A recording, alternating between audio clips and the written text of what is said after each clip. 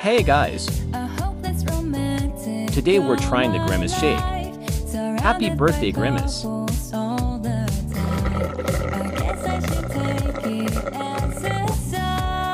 This tastes like burr.